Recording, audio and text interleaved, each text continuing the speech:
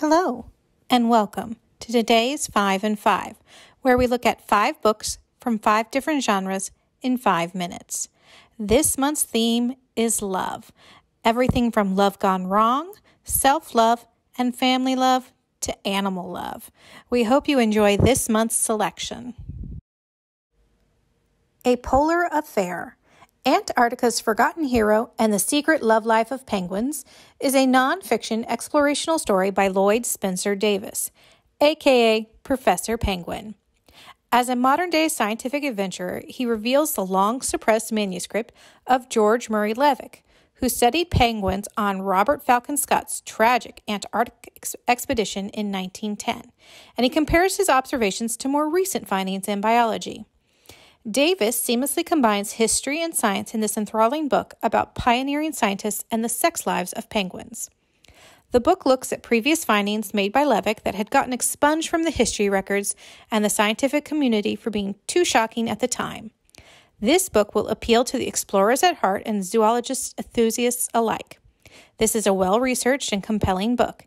If you enjoyed Shackleton by Michael Smith or Land of Wondrous Cold by Gillen D'Arcy Wood, then you will probably enjoy reading A Polar Affair. This book is available in regular print and e book.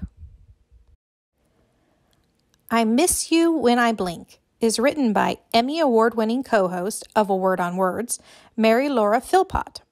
Her collection of essays lightheartedly addresses the conflicting pressures of modern adulthood, revealing how periodic self reinventions can offer necessary renewal and healthy perspectives. Her essays are funny, heartwarming, and reflect in nature. Philpott shares her struggles with depression despite an outwardly perfect life. She reflects on her need for perfection and comes to terms with her need for change in her life. She shares her experiences with a major illness, coping with friends who have kids, and dealing with unpleasant people in her life. Throughout, her tone is conversational and easy to read, but can occasionally come off as privileged. For those of us with type A personalities who have struggled with change and perfectionism, you'll find this collection of essays comforting and reassuring. If you liked Under the Tuscan Sun by Frances Mayes or These Precious Days by Ann Patchett, then you will enjoy this collection of essays. I Miss You When I Blink is available in regular print, audiobook, ebook, and e audio formats. How to Be a Family The Year I Dragged My Kids Around the World to Find a New Way to Be Together by Dan Kois is a heartwarming and amusing memoir about family togetherness and finding happiness together. Dan Kois, a busy editor and podcaster, his wife, and their two preteen daughters decide to take a year off and travel the globe to find a way out of their busy, overscheduled rut of a life. Dan and his wife felt that they were doing family wrong, as the four of them lived their own lives pursuing their own happiness and never seemed to do life together. So they decided to change that and discover happiness with each other. This memoir is filled with witty, self deprecating humor as well as earnest, thoughtful soul searching. If you enjoyed reading We Came, We Saw, We Left by Charles J. Wheelan or Home Sweet Anywhere by Lynne Martin, then you'll probably enjoy How to Be a Family. This book is available in regular print and e book formats. As Long as We Both Shall Live is a cat and mouse psychological detective thriller by JoAnn Chaney. Matt and Marie have been happily married for 20 years when they go on a hiking trip to rekindle their romance. However, only one of them will come back from this wonderful weekend trip. Matt tells the park rangers that Marie fell off a cliff into the raging river below. They begin to search for her and soon realize that maybe there is more to the story than what Matt told them. Is Matt a grieving husband or a cold blooded murderer? As facts come to light and the mysterious circumstances surrounding the death of Matt's first wife leaves a washed up detective and his partner scrambling for answers.